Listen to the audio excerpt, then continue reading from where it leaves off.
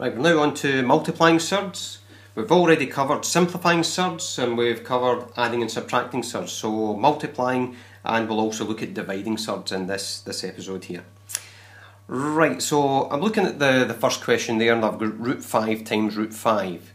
Root 5 times root 5 would give me root 25, okay? So what I've got is I'm just combining the numbers together when, when I multiply them together. So, so root 5 times root 5 gives me root 25. From there, I can simplify that down. 25 is a square number, so the square root of 25 will work out to be just 5. Okay? And what, what I should realise when I do more of these, that uh, root 5 times root 5 gives me 5. Any number that's inside the root times itself just brings that number number out. So what I've shown you is I've multiplied the two numbers together here. Generally what I would do is I would go straight from there to the answer that I've got there, 5. Root 5 times root 5 is 5. And you can check that out on your calculator to make sure that that works for you, for all numbers. Okay, so, so then you can freeze the video again, and what you can do is you can try the questions uh, as we go along. Okay, so here we go. Root 2 times root 2. That's going to give me root 4 and that's going to give me an answer of 2. Root 11 times root 11, that will give me square root of 121, that's 11 times 11.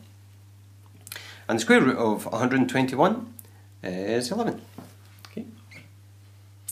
So that's the simpler ones dealt with there. Okay, so we know that what we can do is we can multiply the two surds together and get a different surd.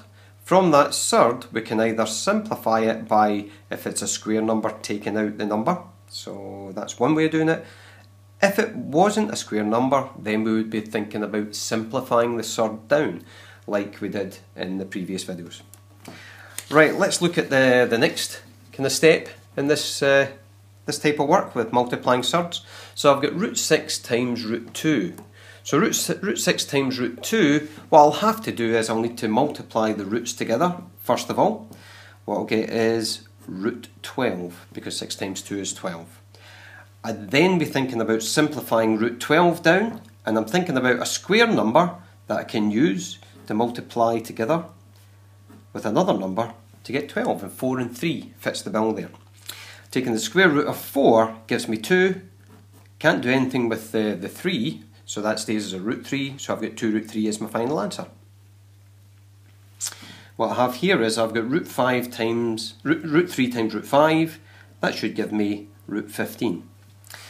And if I think about root 15, um, I'm trying to think, I can't use any of the square numbers that I would use. So the square numbers that would be kind of below 15 would be the number 9, nope, can't use the 4, and really the 1 isn't really of any help to me there at all. So that's going to be my final answer. It's going to be root 15. Now we could also use this in uh, some algebra. If I've got root x times root y, what that will be equal to is the square root of x, y. Okay, so that's just telling me that whatever number I've got there and a different number there, what I can do is I can combine them together under a square root sign and that root sign I can just multiply them together inside that and that would be the answer to that there. Let's uh, move on to the, the next the next part of multiplying out surds. So what I've got uh, here is I've got some surds that have maybe a number outside as well and I've got some surds together there as well. So what I'm going to do is I'm going to just show you how this one works. So I've got a 3 here at the front. I'm really timesing that root 2 there. So 3 root 2 means 3 times root 2 and I'm going to be multiplying by root 2 again. So I know that I've got that 3 root 2 times root 2 as we'd seen previously is going to be equal to root 4. Or if you realise what that's going to come out to be, root 2 times to root 2 gives me 2. So my final answer there will be 3 times 2 which will give me 6 and that's my final answer for that one there. Right, here, here I've got two numbers in front of the root. Okay, so a number here, a number here, and I've got two roots. So, so let's multiply these through. So if I just rearrange it, I'm going to rearrange it to be 2 times 3 times root 5 times root 5. Okay. From there, what I'll do is I'll multiply these two numbers together first. That'll give me 6. I'll just write the root out again, so that'll be root 25 when I multiply these two together. Or, if I skipped that step, I would know that root 5 times root 5 equals 5. Final answer on that one will be 30. Okay, freeze, freeze the video, try the others yourself. I'll give you the answers. Okay, so here again, and the way I would do this one is I would do 3 times 2 would give me 6, so I would just write the 6 down and I would have root 14 after that. Okay, but that would be the root 2 times the root 7, but I'll show you how that actually works. 3 times 2 times root 2 times root 7. If I gather that all up, that's going to give me 6. 3 times 2 is 6. Root 2 times root 7 is going to give me root 14. From the square numbers that I know, I can't simplify the root 14 down at all, so that's going to be my final answer. So I'll just drop the times sign, make it 6 root 14. For D, I've got the 4 times 2 times the root 3 times root 3. So I've got 4 times 2 is going to give me 8. I've got root 3 times root 3, which gives me root 9, or, if I can see it, it's just straight to a 3. Root 3 times root 3 gives me 3. Answer of 24. Okay, so that's, uh, that's the multiplying of surds. Um, I'll deal with multiplying surds and brackets uh, a bit later on. I'll do that in a separate, separate clip. Let's look at dividing surds. Okay. So dividing surds, there's kind of two ways that we can do that. What I can do is I can combine, I can combine the surds into one big surd, one big surd, and divide the numbers inside it. Or I could simplify down one of the surds and I can cancel out by dividing the top and bottom by that. What I'll do is I'll do them differently. I'll do this one first here by combining them and using the rules of surds, which would allow me to, if I've got two separate surds as a fraction, I'll just put them into a fraction together.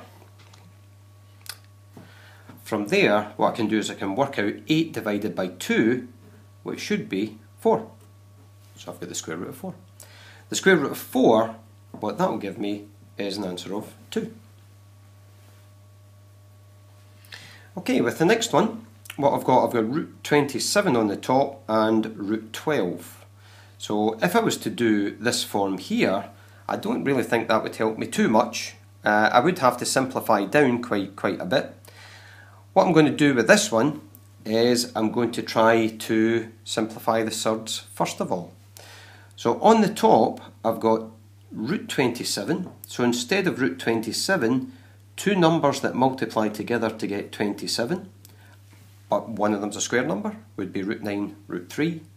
That would all be over root 4 and root 3, because the 3 times the 4 gives me the 12. What I'll then do is I'll simplify down here, so that's going to be 3 root 3, because the square root of 9 is 3.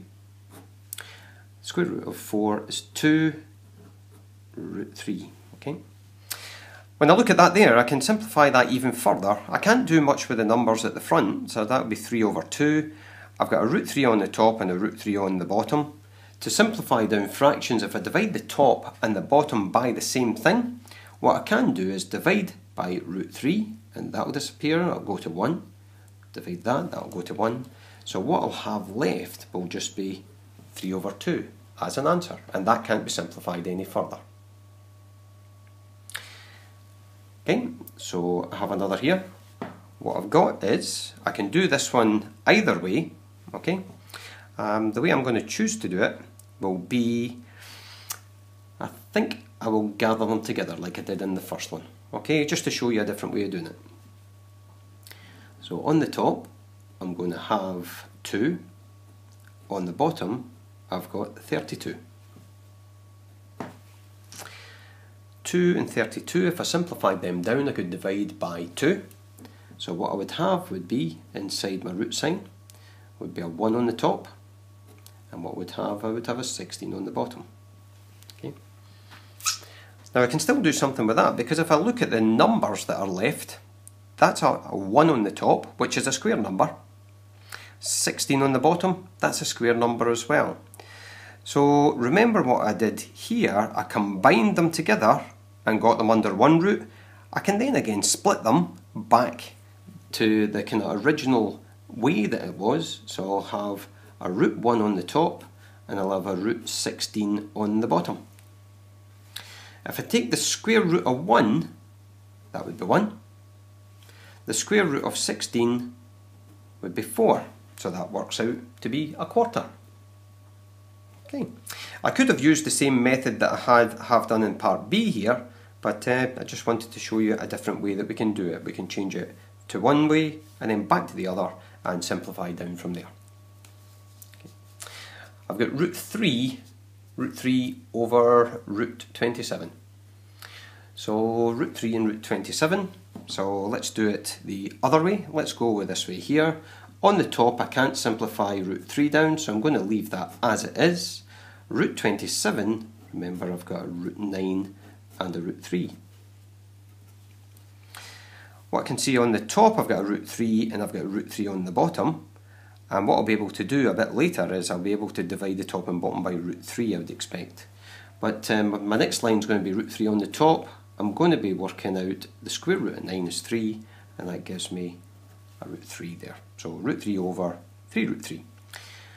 Dividing the top and bottom by root 3 would be, that would be once, and that would be 1. So remember on the top, that root 3 just doesn't disappear, it goes to 1. Okay, So that would be a 1 on the top, and what I've got is I've got 3 there, I've got a times a 1, so I'm just writing out an extra line, and what that will give me is 1 over 3. So, and that would be that. So, so this is going through the multiplying surds and how we would do that. We've looked at dividing surds and there's a couple of different ways that you can approach that. Um, hopefully that's helped you out and uh, I hope that you can ken maths now. Cheers for now.